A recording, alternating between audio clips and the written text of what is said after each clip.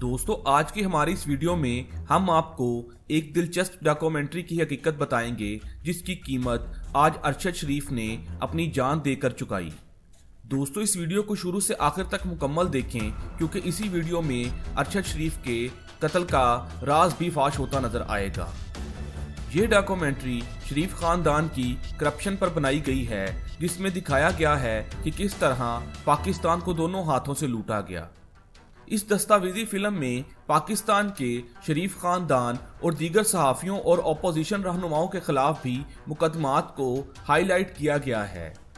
इस डॉक्यूमेंट्री को मुर्तज़ा मेहदी ने लिखा और इन्होंने खुद ही इसे प्रोड्यूस किया है, जबकि इमरान खान, फवाद चौधरी, शहजाद अकबर, सहाफ़ी इरफान हाशमी और बहुत से दूसरे सियासतदान भी इस डॉक्यूमेंट्री का हिस्सा हैं।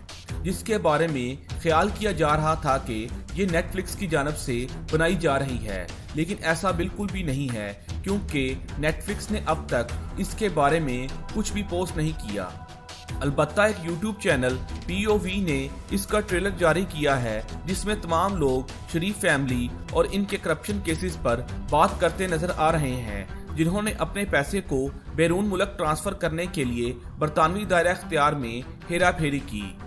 दोस्तों, ये ट्रेलर दो मिनट से भी कम का है, जिसकी शुरुआत कीनिया के सहाफ़ी जॉन एलन नामों के इन अल्फाज से होता है कि अशराफिया के लिए एक अलग कानून है, ख़ास तौर पर इकतदार से मुंसलिक अशराफिया के लिए और बाकी सब के लिए अलग। पाकिस्तानी शख्सियात में सबसे पहली पेशी सहाफ़ी अरशद शरीफ की है, जिनका कहना है कि शरीफ खानदान ने कम तनख्वाह वाले मुलाजमीन के नाम पर अकाउंट्स खोले जो टैक्स नेट में नहीं आते थे। इन अकाउंट्स में पैसे जमा होते थे और आखिर में वो हमजा शहबाज, सलमान शहबाज या खुद शहबाज शरीफ के अकाउंट्स में आते थे। इसके बाद आजरबाईजान के एक सहाफ़ी एमन हुसैन ऑफ़ ने करप्शन को बेनकाब करने का नुकसान बयान किया। इन्होंने कहा कि सबसे पहले जिसने भी किसी बड़ी करप्शन का इंकशाफ किया, इसे इसके घर के दरवाजे पर ही मार दिया गया। इसके बाद मंजर मुख्तलिफ़ सहाफ़ियों की तरफ़ बढ़ता है, जो करप्शन की हिमायत करने पर लंदन को ललकारते हैं। इन्होंने लंदन को शरीफ खानदान का दूसरा घर और मनी लॉन्डर्स की जन्नत करार दिया। दोस्तों, इस डॉक्यूमेंट्री से ज़ाहिर होगा कि इन्होंने किस तरह बरतानवी दायरा अख्तियार और मालियाती निज़ाम को अपनी गैर कानूनी रकम छुपाने के लिए इस्तेमाल किया। वो इस रकम को आलमी मालियाती निज़ाम में जमा करते और फिर इससे सरमायाकारी करते। पीटीआई के कई अहदेदारों की तकारीर भी इस दस्तावेजी फ़िल्म का हिस्सा हैं।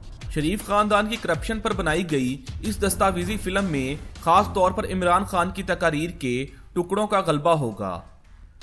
मुख्तलिफ़ दावों के मुताबिक, ये डॉक्यूमेंट्री नेटफ्लिक्स या अमेजोन प्राइम पर रिलीज़ की जाएगी।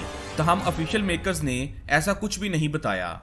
अलबत् ऐसा लगता है कि ये किसी न्यूज़ एजेंसी या प्रेस हाउस जैसे अदारे की पेशकश है। इसके अलावा एक दिलचस्प बात यह है कि इस ट्रेलर में कहानी का कोई दूसरा रुख शामिल नहीं किया गया, यानी ये सिर्फ़ एक तरफा तशहर है। दोस्तों, आपको क्या लगता है कि अरशद शरीफ का कत्ल किसने करवाया? कमेंट बॉक्स में ज़रूर बताएँ। इसके साथ साथ वीडियो को लाइक करें, चैनल को सब्सक्राइब करें और बेल आइकन को प्रेस करें, ताकि आने वाली तमाम इंटरेस्टिंग वीडियोस की इतला आपको बजरिया नोटिफिकेशन मिल सके।